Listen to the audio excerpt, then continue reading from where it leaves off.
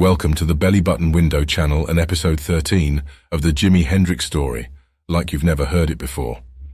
In this episode, we examine August 1967, including the various gigs, recording sessions, concerts, and the critical events for that month. Please remember to check the channel's community tab and video information page, where you will find links to related videos, performances, and stunning photographs from the period. By August of 1967, the Jimi Hendrix experience had spent 10 months living in each other's pockets and out of suitcases. Noel described it as follows. The fatigue, the ceaseless round of drugs, the fans who followed us everywhere, and the creeps who stole from our hotel rooms made us feel on the edge of screaming. Clearly, the consequences of the grueling touring schedule were starting to emerge, and we see the beginning of the dichotomy of the early Hendrix success story. Jimi lost a lot of drive once we broke in the States. He seemed content enough to have conquered the place where he had struggled so hard. So thought Noel. We also see the beginning of the wedge, particularly with Noel, between the idea of Jimi Hendrix, the star, with Mitch and Noel being but support players, as opposed to the Jimi Hendrix experience, an equally fully fledged three-piece band, which he articulated this way. We left England as the experience, but American success had promoted Jimi and left Mitch and me in the deep background. And so, August sees another exhausting round of press functions, photo calls and gigs. August 1st, 6, a concert announced at the Cellar in Cleveland, but cancelled. August 3rd, 4th, 5th, the 7th and 8th saw the group performing at the Salvation, New York City. Also, Tuesday, August 8th, prior to the last of the Salvation Club gigs, saw Jimi back at Studio 76 Inc., New York, for the second sessions of jamming and recording with Curtis Knight. Just to recap, on July 17, 1967, after making the decision to quit the Monkees on their US tour, Jimi Hendrix got together with his old bandmate and friend Curtis Knight, ostensibly to jam off the record at Ed Chalpin's PPX studios. This decision would prove to be both fateful and controversial, since he was in the middle of a lawsuit filed against him by Chalpin at the time. The basis of the lawsuit stemmed from a three-year contract Hendrix signed prior to his success with the experience, covering October 1965 to October 1968. Signed while still just a session player, it offered only a 1% royalty. When Chas Chandler, bassist of The Animals, decided to manage Jimi, one of his first orders of business, was to buy out all of his existing contracts. Unfortunately, Jimi neglected to tell him about the contract signed with PPX. In 1967, when Chalpin discovered Hendrix was suddenly a major recording star following the success of his first single, Hey Joe, multiple lawsuits were filed in an attempt to cash in on this newfound success. In Chalpin's mind, which he would contend for decades, he had given Hendrix an opportunity to develop his sound. Responding to the lawsuit, Hendrix's management contended that PPX were trying to market older recordings as new releases. But in jamming with Knight at PPX studios with microphones recording, PPX subsequently could make the claim that they in fact were in possession of new recordings with the artist's full knowledge and approval. Even further, Hendrix would go back this second time, much to the dismay of his lawyers and management. Although hundreds of bootlegs have appeared from the limited amount of legitimate recordings made between Hendrix, Curtis Knight and the Squires, many contain looped samples and vocals overdubbed at a much later date. Before starting the recordings, we can clearly hear Jimi telling Ed Chalpin, PPX producer, who was in the control booth, that he does not want his name to appear on these titles. Before a take for Gloomy Monday, which will subsequently become You Can't Use My Name, bootleg, Jimi, I ask you not to use my name on this. Ed, I'm not going to use it, don't worry. Jimi found this sound a little light and outdated. Hendrix, Edward, can you hear me? In other words, like you can't, you can't use my name for all that, okay? No, seriously though, seriously. Chalpin, don't worry, I won't use it, don't worry. Shortly thereafter, Chalpin licensed the recordings to Capitol Records, which released an album titled Get That Feeling with Billing as Jimi Hendrix and Curtis Knight in 1967. After Hendrix, Reprise Records, its official American label, objected to the misleading billing and cover photo of Hendrix performing at the Monterey Pop Festival, Capitol released a second album, Flashing, in 1968, billed as Jimi Hendrix plays Curtis Knight sings with a sketch of Knight and Hendrix. Chalpin subsequently licensed the recordings to dozens of minor record labels, who used them to release more than a hundred so-called Jimi Hendrix albums. To give the appearance of new material, songs were often doctored by editing and layering and giving it new names. Hendrix commented, They, the Knight Chalpin sessions were nothing but jam sessions, man, with a band called The Squires. No, I didn't sing on Hush Now, which was later dubbed by Knight trying to copy my voice. In the last few years, the Hendrix estate has acquired the rights to the PPX recordings, and in 2015 they released You Can't Use My Name, an official release that mostly covers the pre-experience recordings, as well as some of the August 67 material. The Jimi Hendrix Experience then traveled to Washington, D.C., where they performed four nights at the Ambassador Theater, two shows per night. Wednesday, August 9th, Ambassador Theater. Also on the program was a local band called Natty Bumppo, Roy Buchanan and Jimi participate in a jam session after one of the evenings at the Ambassador Theatre. Thursday, August 10th, Ambassador Theatre, two shows. This gig was memorable in that Mitch Mitchell got sick in the afternoon and missed this show. He suffered from suspected appendicitis, and an unknown drummer named Bill Havu from the support group Natty Bumppo replaced him. It's also worth noting that it was the only time he ever missed a gig with Hendrix that he was booked to play. Noel stated that, when Mitch missed the gig due to a bad gut, the English papers ran the story. Mitch Mitchell collapsed on stage and was rushed to hospital. Miller became a pet name for Mitch, and he further adds that, our gigs were very serious attempts to create a fun atmosphere. If we started in a good positive days, we could feed off each other's highs and get higher still. Friday, August 11th, Ambassador Theatre, two shows. When Jimi Hendrix came to Washington and blew its mind, Here's some recollections from fans who attended the one of the eight Ambassador performances. Johnny Castle was 17 and an aspiring hippie at the time who played bass. He and his buddies headed out to the Ambassador on the Wednesday night. They went to see the Natty Bumppo, an admired local band. Bumppo, who was opening all week for some other band that was playing. We had no idea of the headlining act, Castle recalled. The Natty Bumppo came out and played and that was a cool groove, Castle says. There was a brief delay and then here comes the Jimi Hendrix experience.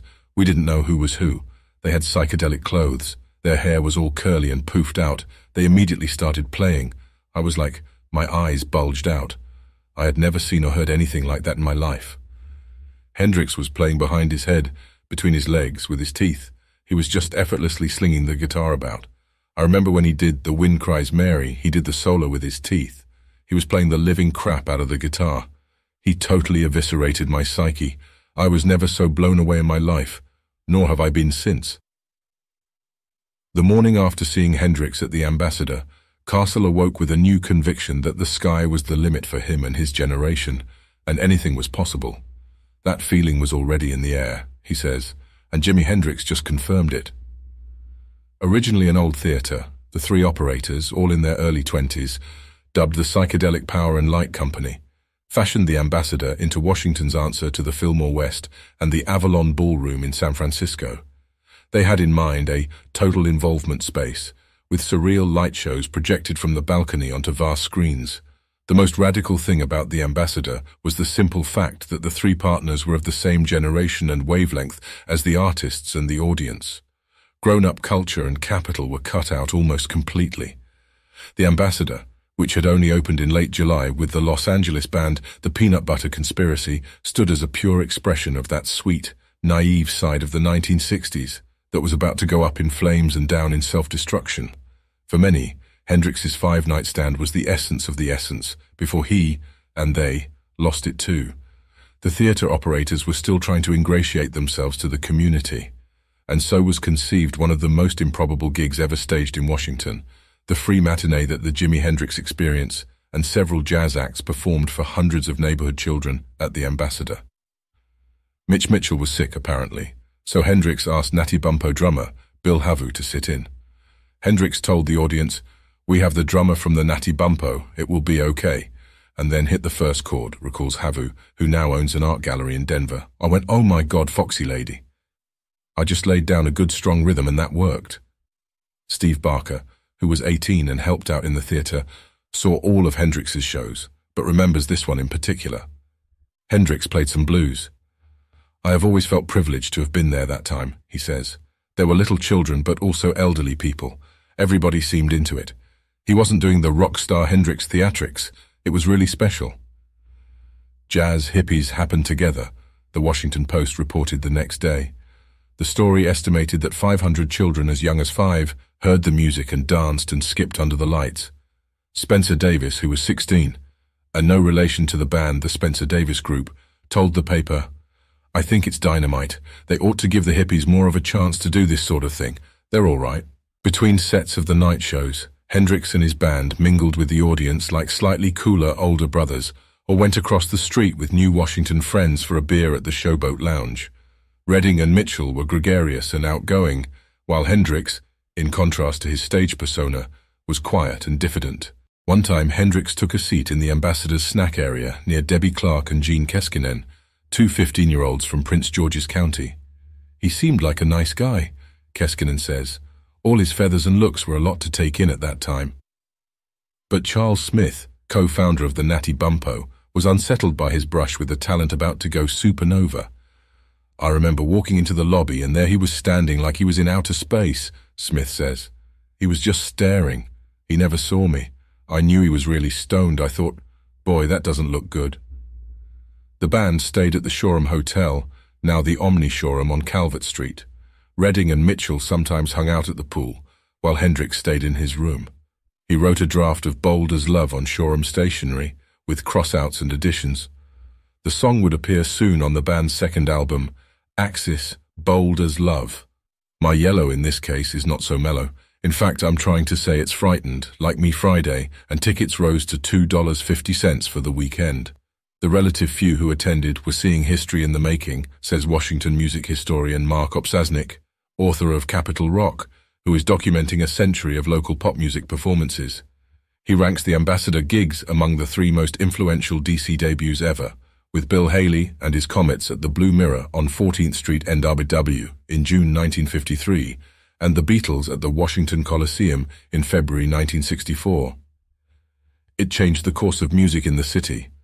The set list from night to night was a roster of soon-to-be greatest hits and FM radio staples. Purple Haze, Foxy Lady, Hey Joe, The Wind Cries Mary, Red House, Like a Rolling Stone by Bob Dylan, and Sgt. Pepper's Lonely Hearts Club Band by the Beatles. This is truly the ground floor of his taking root in the United States. A fabulous time to see the band, says Hendrix biographer John McDermott. The average young person might have heard of Jimi Hendrix if they read an underground newspaper, but there was literally nothing going on in terms of buzz. This guy laid it all on the line, desperately determined to make it in the US. Saturday. The party in a Georgetown row house happened after the Saturday show, as near as some folks can remember. It was just so low-key, Mike Paper, who helped out at the theatre, says of the party. People were smoking dope, drinking beer and wine. I remember distinctly Jimi sitting on the couch strumming an acoustic guitar. It was just different times back in those days. Nobody said, oh my God, we're hanging out with Jimi Hendrix. We knew it was special, but at the same time, we were 18-year-old kids. Another night, folks converged on Bumppo drummer Havu's place in the 1800 block of Corcoran Street, NW. We had promised dinner. We were also broke, Havu says, so they liberated a big pot of spicy rice that their Korean neighbors had stowed in the common refrigerator. Hendrix sat on the floor in a corner and ate this really hot, bad rice we cooked up. He was just sort of watching the scene. He had recently come over from England, and I think he was trying to absorb what was going on with the hippie movement quote unquote. Phil Wood was 16 years old when he collected a string from the guitar that Jimi Hendrix burned on August 13, 1967, the last of a five-night gig at the Ambassador, Tony L. Sandys, The Washington Post. Hendrix explored Georgetown, and while there drew police attention. Michael Casady, younger brother of Jack Casady of the Jefferson Airplane, ran into Hendrix on the street. They were crossing against a red light when, next thing I know, cops pull up to us. Casady says. The pair was taken to a precinct station for jaywalking. Casady, who was still in high school, had to call his mother to come get him. Hendrix called a band associate. If you had the long hair, the cops didn't like you, but Hendrix was beyond that, Casady says. His hair wasn't even that long, but his clothing was so far out. He was dressed to the hilt, with the scarves and the whole bit, you know, and they kind of didn't know what to think of that. Sunday. As word spread of Hendrix's stage magic, attendance grew night by night, until about 800 showed up for the Sunday finale, says Mike Schreibman, who handled publicity for the ambassador. Even so, the theatre was still half empty. The Who was opening for Herman's Hermits at Dar Constitution Hall that night. Some fans planned to catch The Who, skip the Hermits and make it to the Ambassador for Hendrix's second set. Before the gig, Shep Tullier, then 19, met the band at the Shoreham. Tullier, who now plays in Blue Suede Bop and solo projects, brought a stack of British music journals he subscribed to, which the musicians were eager to peruse after two months in the United States. Walking into their rooms, Tullier heard a voice on Hendrix's portable record player. He assumed it was some avant-garde spoken word piece until Hendrix told him it was Winnie the Pooh. The band caught a cab to the theatre. In the dressing room, Hendrix called Schreibman over. He whispered, Can you get me some lighter fluid? recalls Schreibman, who became a founding member of the Washington Area Music Association. I said in a real loud voice, Oh, are you going to set your guitar on fire? He was really upset that I'd broken the secret. Hendrix had pulled the pyro stunt only twice before, in London in March, then at Monterey in June, according to Hendrix chronologists. Before the Monterey film popularized the evidence, it would still be a surprise to most fans. Schreibman crossed the street and bought the fluid at People's Drug. After seeing The Who's Pete Townshend smash but not burn his guitar at Constitution Hall, 16-year-old guitar player Phil Wood and a buddy hurried to the ambassador. Wood had seen Hendrix's Thursday show, so he knew to sit on the floor just in front of stage right, where Hendrix would stand. He felt someone take a seat to his left, so close in the crowd that their legs touched. It was Townshend. Standing against the wall was the Who's bass player, John Entwistle. Hendrix walks out with his Stratocaster, Wood recalls. He looks at Townshend. He plugs in his Strat, and without even tuning up, he starts playing I Can't Explain. The Who hit. Noel Redding hasn't seen them, doesn't get it. Like, what key is this? Pete laughs, Entwistle laughs. Hendrix stops and does his set. We had never seen anyone have sex with a Stratocaster, and that's essentially what he was doing, says Wood, who became a radio broadcaster. Nils Lofgren, then a teenage guitar player whose band Crystal Mesh opened for the Hollies at the Ambassador, was among those who dashed uptown from the Who show. It was seeing Jimi Hendrix there that kind of struck a chord in me, that maybe this was something that would be a calling or a profession, says Lofgren who now plays in Bruce Springsteen's E Street Band. Hendrix came out and said he was going to dedicate the first song to Pete Townshend, and he was going to do a rendition of Sergeant Pepper, Lofgren says. Being naive and huge Beatles lovers, a lot of us thought, well, you're only a three-piece band. How can you play Sergeant Pepper's Lonely Hearts Club Band? There's all these other guitars and strings and violins. We just didn't have a clue what Hendrix was really about. He counted off the song, and I remember he kind of disappeared. He just did one of those things where he fell to the floor, almost sitting on the floor, rocking with the guitar between his legs, doing kind of a Purple Haze, Sergeant Pepper riff. Everyone just jumped up to try to see him, and from that moment on everyone was standing and mesmerized by obviously the greatest guitar player that ever lived, certainly in rock and roll. After a blistering set, some fans noticed that Hendrix switched guitars amid the pounding chords to the last song, Wild Thing. He knelt and made his burnt offering, then smashed the instrument on the stage. The violent act exhilarated but also shocked those who were present. He wasn't just playing music, he was invoking spirits, I believe, says Charles Smith, the Bumppo co-founder, who continues to make music with Soundwater. People in the audience went crazy, but I thought it was kind of contrived, says Johnson, the former community activist. The theatrics overshadowed the fact that this guy could really play. Backstage after the show, Hendrix said he needed a ride to the hotel with his little dolly bird, as he referred to the pretty young thing he was with, according to Connie Wright, who saw the show with two friends from Baltimore. They provided the ride and briefly visited his room. He was affable and sweet and unassuming, Wright says. Among the topics of conversation was Winnie the Pooh. The Sunday performance at the Ambassador is believed by some aficionados to be the last time he ever burned a guitar on stage.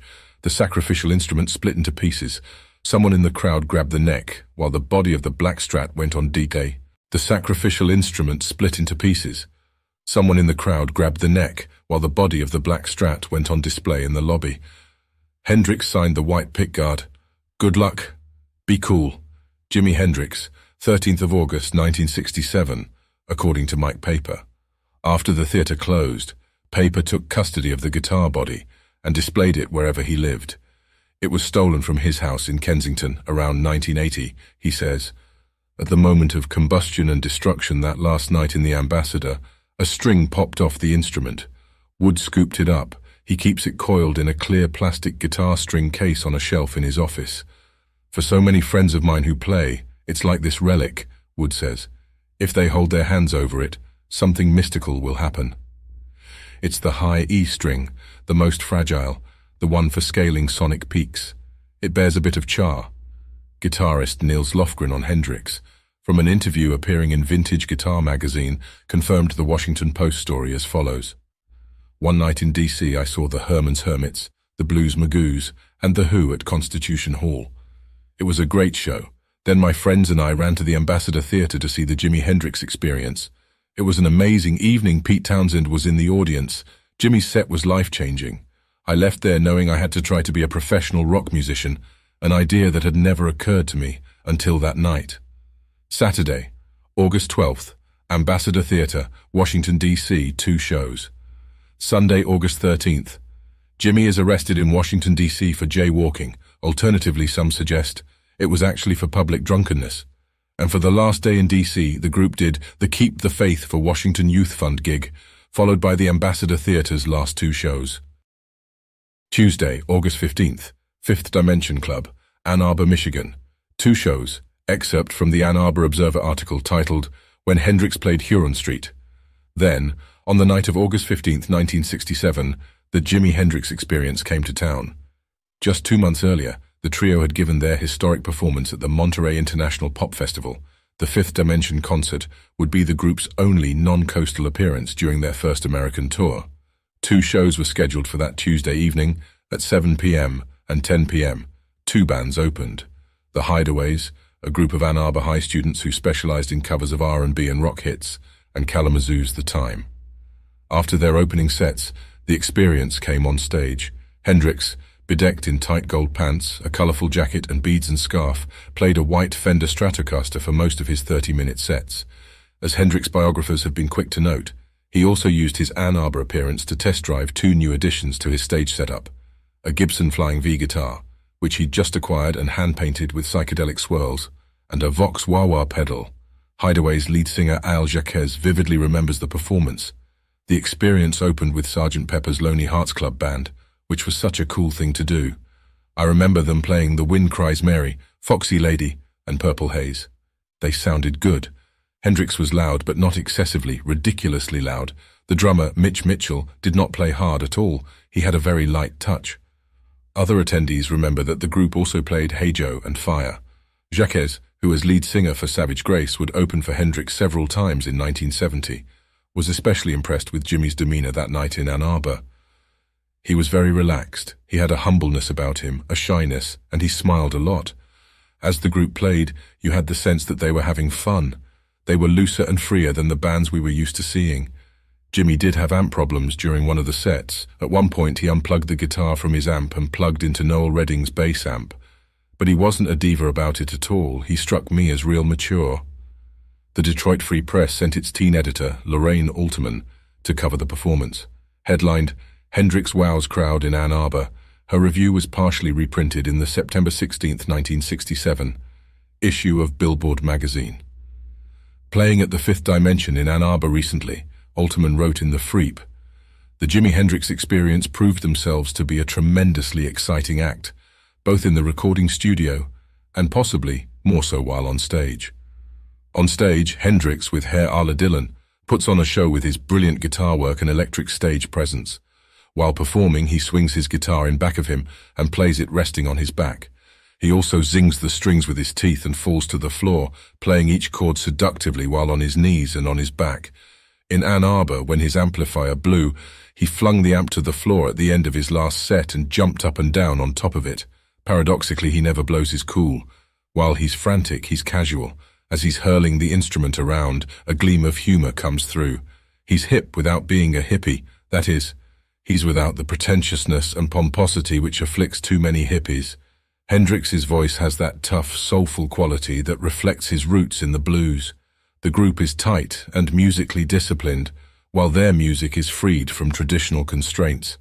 Backstage that night, Jimi chatted with a female fan. He handed her his beads and wrote his name and London address on a half sheet of lined notebook paper, inviting her to look him up if she ever made it to England. In December 2015, this dashed-off document was purchased at a Bonhams auction for $6,267.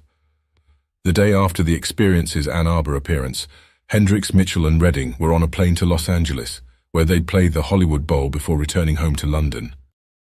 After playing in Ann Arbor, Michigan on August 15, 1967, the Jimi Hendrix Experience boarded a plane the next day in Detroit. According to one passenger, I sat and talked with Hendrix and the band for about an hour during the flight. The only paper I had with me was my United Airlines ticket envelope, which they all signed. Mitchell and Redding slept most of the time, but Jimi and I talked for about an hour during the flight. This is one of the Experience's first autographs, just two months after the group arrived in the United States and debuted at the Monterey International Pop Music Festival. Friday, August 18, 1967. Hollywood Bowl, Hollywood, California, two shows. The experience is interviewed by Bob Garcia for Open City, published August 24, 1967. The rehearsals. Jacket worn by Jimi Hendrix during Hollywood Bowl is on display in Germany at a Hard Rock Cafe, along with Jimi's 1964 Texas model Fender Stratocaster guitar. This Olympic white strat features a tortoiseshell shell guard and a maple neck with rosewood fingerboard and pearl inlays. Originally owned by Gary Boyle, guitarist of Brian Auger's Trinity, Jimi Hendrix used this guitar regularly when he arrived in London in late 1966. It is now on display at the Hard Rock Casino in Vancouver, Hard Rock Casino of Vancouver. Hollywood Bowl, Steve McQueen, Stephen Stills and jamming. Mitch recalled the last phase of the experience's first American visit as follows. Our other West Coast gig was the Hollywood Bowl, as guests of the Mamas and the Papas. For Noel and I particularly, it was like Core, the Hollywood Bowl. The Beatles played there. They were all incredibly friendly towards us. Nice gig. But again, it wasn't our crowd. The word was going around LA about us, but the audience had booked their seats months before to see them, not us. We went down okay, but nothing grand. Noel Redding on the Hollywood Bowl gig. Los Angeles was hard on us. We died a death in the Hollywood Bowl. The Mamas and the Papas folk-type crowd were the very opposite of our own followers. Jimi hated being distanced from the audience's emotions, and at the bowl there is an ocean of a pool separating the stage from the people, and no roof to create the close, intimate atmosphere we fed on, and which enabled us to take the crowd out of themselves. Later in the evening, Jimi and the band attends a party in Bel Air, hosted by John Phillips of the Mamas and Papas. Mitch had this to say, Great party afterwards at Phillips Mansion in Bel Air. Quite extraordinary meeting Steve McQueen and people like that. Our first really Hollywood affair. We'd already met some of the LA musicians like David Crosby and Peter Tork, of course, and had been to Stephen Stills' place out in Malibu. That's where the jamming thing really started for Jimi and me. At Stills' place, the equipment was up 24 hours for anybody that dropped by. Saturday, August 19th. Burning of the midnight lamp and stars that play with Sam's dice the fourth English single release. Noel commented, It was a sign of the times that it took 42 hours to record Burning of the Midnight Lamp, while Wind Cries Mary had taken six minutes. The quest for perfection in the studio. With the band's coffers replenished from their recent spate of touring, Chandler brought the group back into Olympic Sound Studios to mine Hendrix's backlog of material. Bursting with confidence, Hendrix seemed eager to become further involved in the recording process, first by verbalizing to Eddie Kramer the sounds he was trying to create, and then by exhibiting a surprising dexterity behind the control room console. But while Kramer was infinitely patient with Hendrix, Chandler grew increasingly irritated with Hendrix's ceaseless quest for perfection. Chas felt that Hendrix was wasting too much time on endless retakes of backing tracks. Spontaneity had been proven to work, at least in Chandler's mind. While there had been some 30-odd takes of Hey Joe, the basic track chosen was the one first laid down by the band. Midnight Lamp Reviews The single burning of the midnight lamp and stars that play with Sam's dice was released to mixed reviews, with the one common denominator being that the It wasn't the stuff of a commercial hit. Reviewing it for Melody Maker, Bruce Johnston of the Beach Boys thought a lot of the fire and humor had gone out of Jimi's music. However, he did concede that In three separate build-ups, the overall effect is hypnotic and reaches an interesting Wagnerian climax. Record Mirror thought it was Jimi's best single to date. By contrast, a reviewer for Nottingham's Guardian Journal commented sadly, Seldom have I expected so much from a record and been so disappointed. The critics were proved right. Midnight Lamp was Jimi's first single not to reach the top 10, peaking at 18 in the UK charts. But Jimmy didn't seem to change his mind. That song was the song I liked best of all we did. I'm glad it didn't make it big and get thrown around. Midnight Lamp Analysis Hendrix commentators have described Burning of the Midnight Lamp as introspective and melancholy. Number and quote Hendrix as offering the following insight into the inspiration behind the song. There are some very personal things in there. But I think everyone can understand the feeling when you're traveling that no matter what your address, there is no place you can call home the feeling of a man in a little old house in the middle of a desert where he is burning the midnight lamp. You don't mean for things to be personal all the time, but it is. Teku. While analyzing this explanation further, Hendrix biographers Shapiro and Glebbeek propose the following. The house in the desert becomes a metaphor for Jimi's own suffocating frustration at failing to produce the song he wanted in the studio, failing to communicate or being a victim of failed understanding. The time for reflection on the plane leads Jimi to consider the downside of being the electric gypsy. The circus comes to town and moves on, leaving no trace that it had ever been there. No roots, no home, no love. But Jimi keeps his own flame of love. Ultimately, the lamp is a beacon. Jimi calls out to anyone who cares to listen. Saturday, August 19th, Earl Warren Showgrounds, Santa Barbara, California. Monday, August 21st, England, Heathrow Airport, London. Mitch had this to say, I had mixed feeling about coming back from the States, even that first time. I'd begun to get the flavor of it, especially LA. I'd never seen anything like it at all.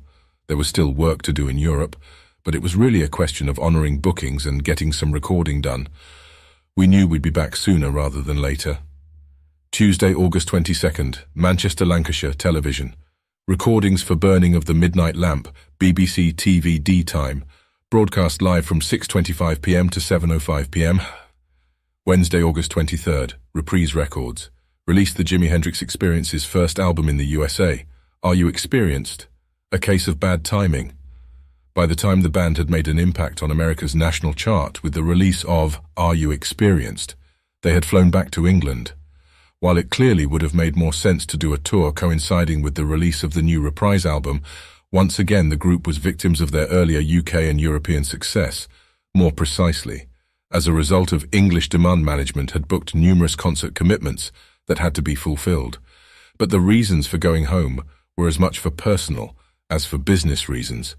Jimi almost certainly did not want to leave, but Chas had recently got married to his Swedish girlfriend Lotta. Mitch was due to get engaged to his girlfriend Carolyn. While Noel and Mitch both felt they needed some respite from the madness of life on the road in America. As is happened, their return on the 21st of August was to be marked by both comedy and tragedy. Thursday, August 24th. London. Recordings for Top of the Pops on BBC TV, broadcast live and rebroadcast September 7th. Burning of the Midnight Lamp, studio shots with live vocals, two versions, photos. Alec Byrne, according to Hendrix biographers, Harry Shapiro and Caesar Glebbeek. Jimi did some TV recordings for Top of the Pops with Alan Price. As the live acts on the show, both were there to sing the vocals over backing tracks to their respective new singles so as not to contravene the musicians' union ban on miming. As Jimi waited for the intro to Midnight Lamp, Alan Price's The House That Jack Built was played. Said Jimi on the show, I like the voice man, but I don't know the words. And to a journalist later on, Burning of the Midnight Lamp is difficult enough as it is, and I was all queued up ready to say the words nice and clear. This really threw me man-mass confusion. Alan Price was quite happy. He got a second plug. Friday, August 25th. Photo call by photographer Terence Donovan at Upper Berkeley Street, London flat for the Sunday Times, and Mitch Mitchell gets engaged to Carolyn Kinsey. Saturday, August 26th. Speakeasy Club. Jimi attends Dantalian's Chariot, Zoot Money's new band concert. Sunday, August 27th. Saville Theatre, London. The second show is cancelled due to the death of Brian Epstein. Live at Saville Theatre. The set list for the first show, Summertime Blues. Fire, The Wind Cries Mary, Foxy Lady, Catfish Blues, I Don't Live Today, Red House, Hey Joe, Purple Haze. According to Noel Redding, our first Saville set went great, but then we heard the sad news of Brian Epstein's death. The second was cancelled out of respect, but I felt he would have preferred the show to go on. Earlier in the year, Brian Epstein was interviewed by New York DJ Murray the K, where he said, Many of your listeners probably won't know about Jimi Hendrix. He has broken through big now. I suppose to the general public in England, it looks like an overnight success, but no star is born overnight and he's a great performer. Later at the Speakeasy Club, Jimi participates in a jam session with Fairport Convention. Fairport Convention were an English folk rock band, formed in 1967 by guitarists Richard Thompson and Simon Nicol, bassist Ashley Hutchings, and drummer Martin Lamble and singer-songwriter Judy Dyble. Fairport's early live shows in London in the late 1960s saw Dyble share stages with names like Jimi Hendrix and Syd Barrett-era Pink Floyd. Famously, she sat on the front of the stage at the Speakeasy Club that night, knitting while Hendrix and Richard Thompson played to an appreciative crowd. Monday, August 28th, London, photo session in Hyde Park. Tuesday, August 29th, Nottingham Blues Festival, Sherwood Rooms, Nottingham. Nottingham Blues Festival Review. This review was written for the Guardian Journal at the time, titled Here's an Experience That Hits You for Six, by Richard Williams.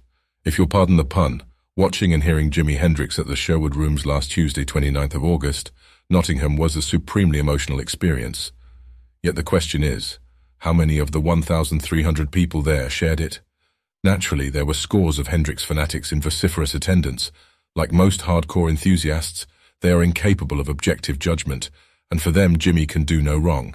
But there were also those, and I saw many of them, who were apparently nonplussed by the startling, electrifying show put on by the American and his accomplices, drummer Mitch Mitchell and bass player Noel Redding. This puzzled me somewhat, until the idea struck home that perhaps there are people who really dug the records of Hey Joe and Wind Cries Mary, but are not yet ready to see Hendrix live. To be sure, you have to put up with a lot to be able to appreciate him.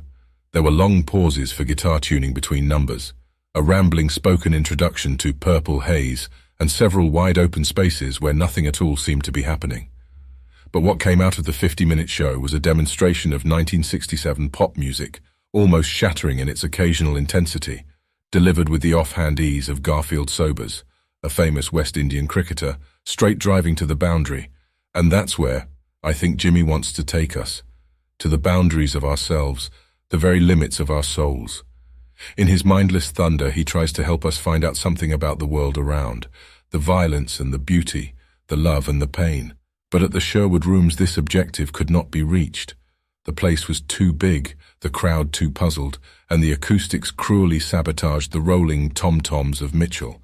After opening with a roaring short version of Sergeant Pepper, the group charged into Howlin' Wolf's Killing Floor, which amply demonstrated Jimi's roots in the urban blues he heard in his youth.